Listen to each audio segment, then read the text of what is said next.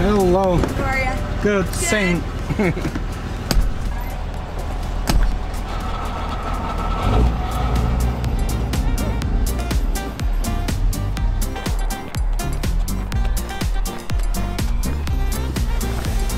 Hey guys, welcome back to the channel. I'm starting off this episode by picking it up parts for this Sierra. I keep saying Silverado. I don't know why I keep saying Silverado even though it's a Sierra. And you guys saw I got a lot of parts. There's a lot of parts on the back order like a core support because I ordered different core support instead of the front, just the front end.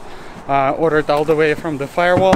Headlight is in the back order and some other stuff on the back order but for me main one is a headlight and the core support but oh well we don't have that. I still can fix the frame. I have a gauges. My body have a gauges that i can use to say uh, if the frame is in the right location or not. And like i did on the silverado when i fixed the frame and then install everything and it was telling me the uh, the frame actually wasn't uh, finished all the way. So i had to go back and fix it. So with this one it's probably gonna be the same thing uh, unless if i make the frame dead on on point then the core support is just gonna bolt on on the frame and weld it to the firewall. Should be pretty simple. I can't wait to get in the frame job. I've kind, i'm kind of tired you can see that on me. It's been crazy past couple months been super crazy for me. But hey let's go home. Let's get the truck ready. Let's reload all the parts on it. Some of them install on it and let's go on the frame rack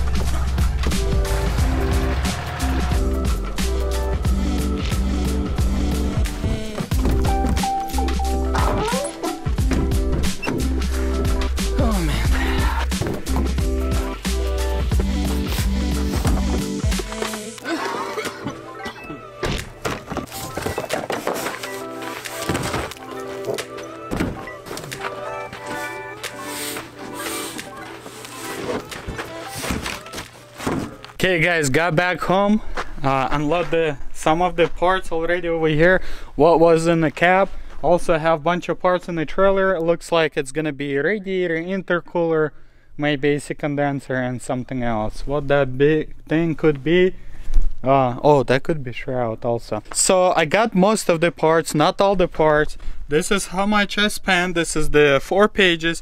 The first page, second, third, and this is the fourth page so $5,763.94 that's not including what I spent already. I believe I told you in the previous episode that was 2700 actually I was wrong. That was 2500 so what is it again? Forgot. 57 right? 5763 so 58 plus 25 60 70 uh 73 7300 dollars wow.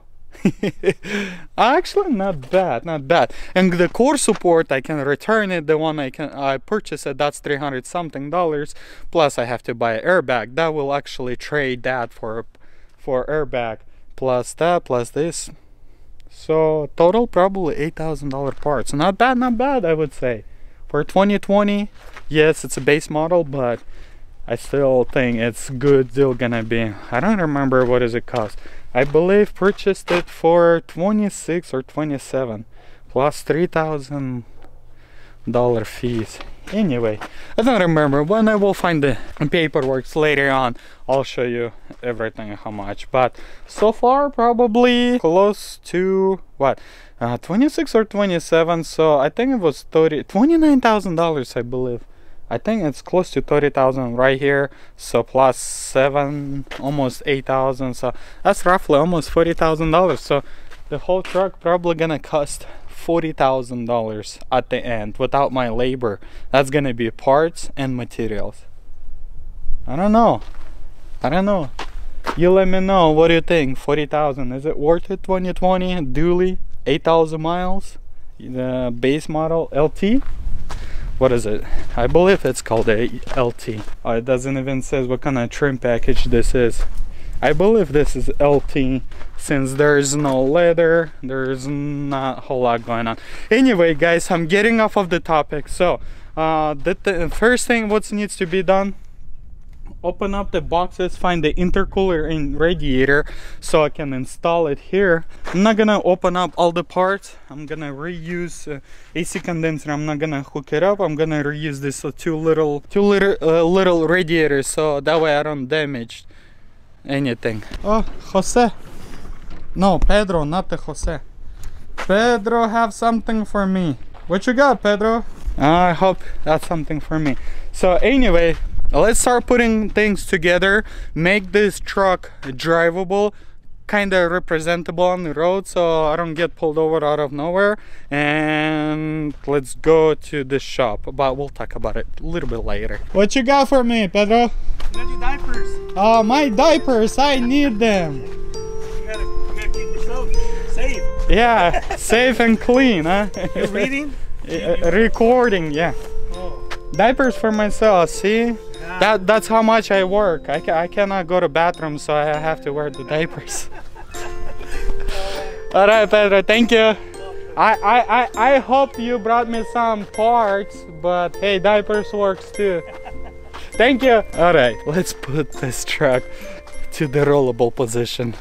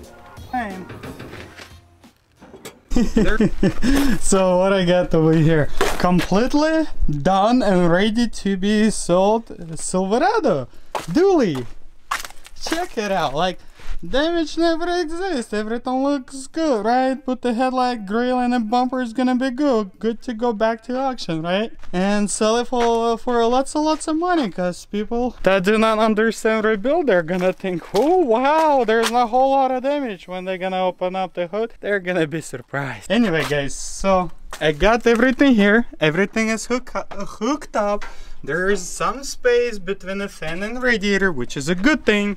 Uh, this fender floppiness it's gonna be fine. I'm gonna grab a piece of wire and gonna run the wire to here so it's not as floppy and won't hit the headlight. Over here I'm gonna have to attach the fender so it won't fly off. So probably over here to this and over here to this and maybe I should put something uh, nah, just gonna tie it like that and it's gonna be, I'm pretty sure it's gonna be just fine. Should be just fine, should be no problems at all. I don't see any problems, do you? Run and drive, I don't see any problem at all. Do you see any problem? I don't. So what I need to do right now is grab the oh gosh don't tell me that i don't have the antifreeze yellow antifreeze. Man totally forgot. Let's go check it out if i have a uh, orange antifreeze. And if i don't i guess there's gonna be water. I'm not willing to drive probably an hour there and back to buy antifreeze. The system needs to be blade out anyway so i should not waste the time and just grab a a bucket of water and fill it with the water. Since we're not having any freezes already it's getting warmer. So yep that's gonna be a good idea. Water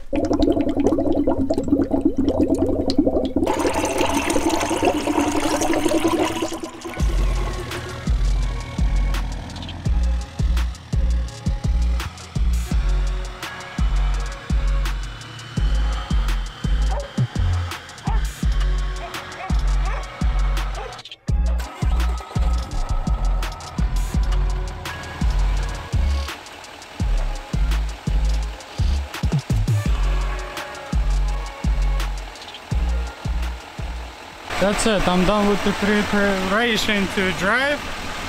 Everything pretty good. I tried the hood. The hood is really good. Everything is tight within. um, what, what is it? Um, uh, rebar ties. Mean, everything looks good. I'm ready to test drive this truck. Yeah, that's it, guys. I'm ready. Let's go. Let's go.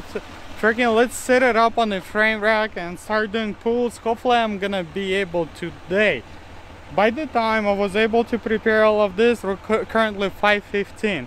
by the time i'll get there it's gonna be six o'clock. By the time i will get in on, on the frame set up and everything it's gonna be seven. And that time it's time to go home. So it's gonna be a long day today. Anyway let's go. Let's test drive it. Let's see how this thing runs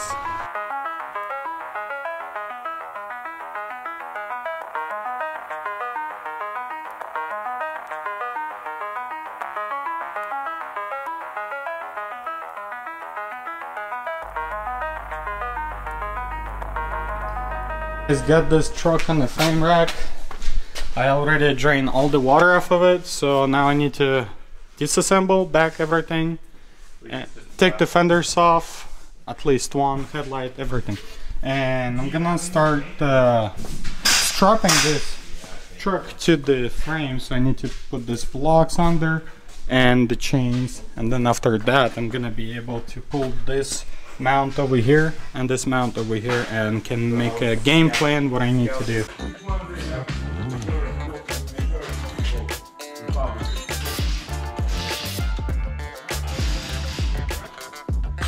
Big time.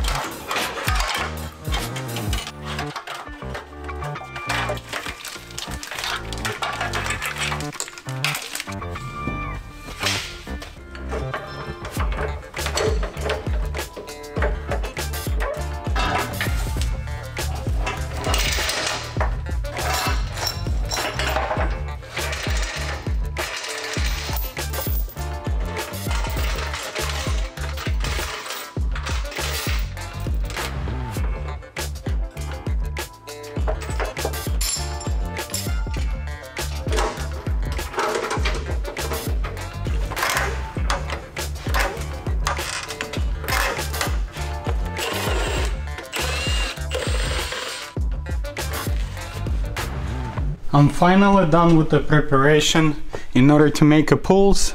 Pulled out all the wiring over here, freed up more space so I can work because all of this needs to be pulled.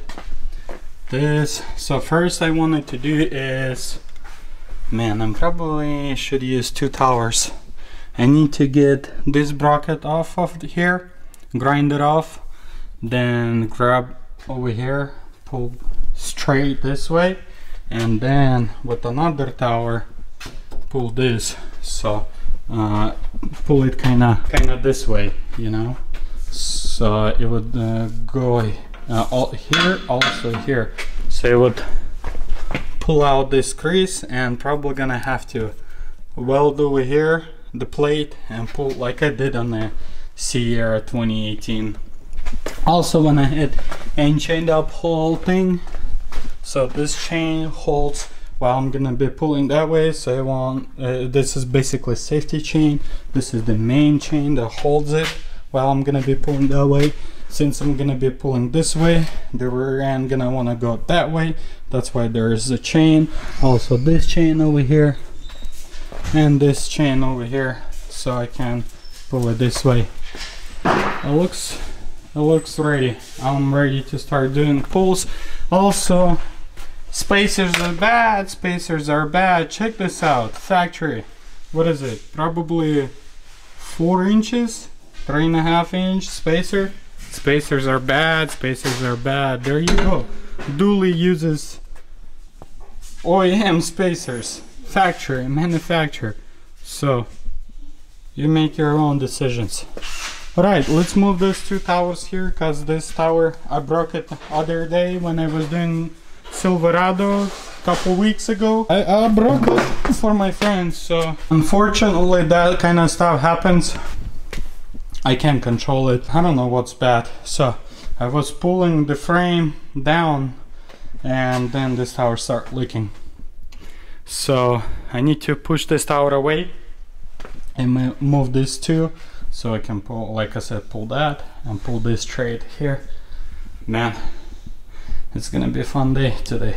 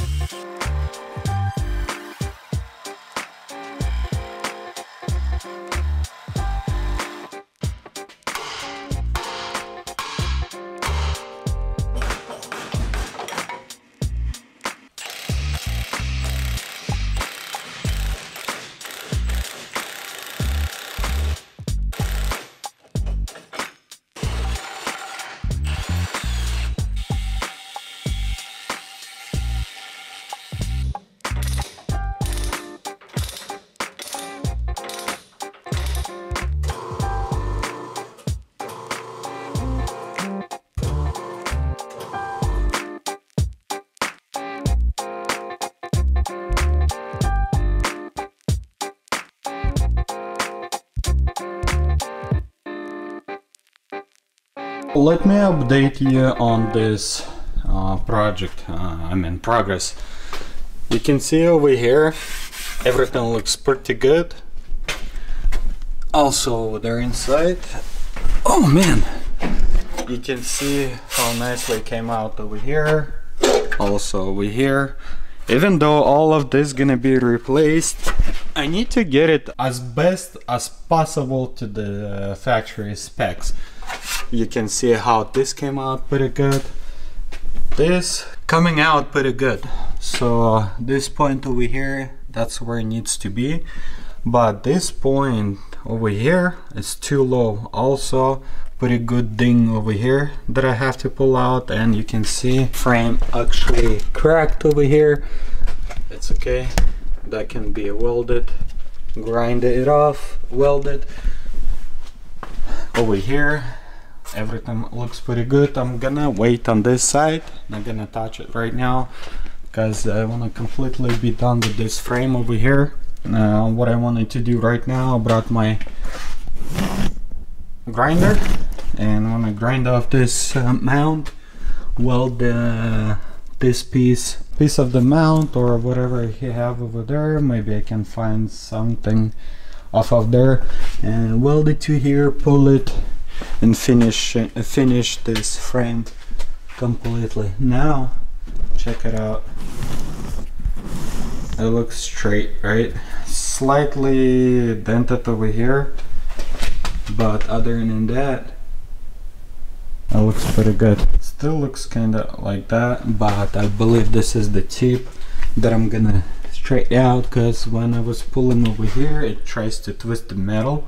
So that's why I'm gonna have to work over here a little. But other than that, everything coming along pretty, pretty good. The sad part about this rebuild that I thought is gonna be simple and easy. This takes a lot of time. This is my third day today and that's only for this corner. man. And plus, I'm gonna have to disassemble everything. Oh man, check it out.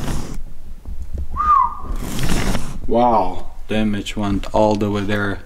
I think the reason behind that because it's connected to this rail over here, A pillar, or whatever it is, connected and when everything got pushed that way, that got broken man more and more damage so i'm basically gonna have to take the cow apart hold this side get all the brackets off of here disconnect all the wiring everything in order to replace all of this insane. Anyway uh, let's grind that off do couple pulls and go home.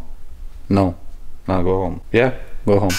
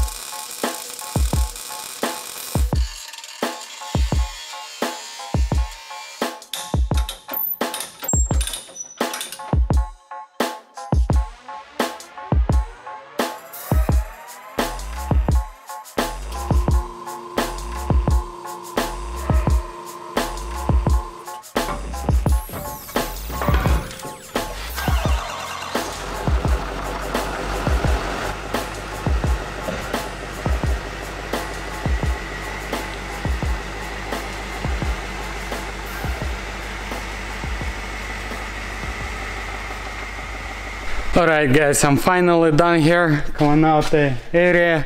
Took the truck outside need to move this fender into the bed. I'm tired. It's 8 o'clock Sunday. You don't believe me? There you go. Sunday 8 o'clock. Tomorrow I have to work construction. I'm done for this episode guys. Hope you did enjoy this framework. Smash the like button. I think I deserve it. And if you wanna see Inside Scoop before YouTube, follow me on Instagram. Thank you for stopping by. I'll catch you next one.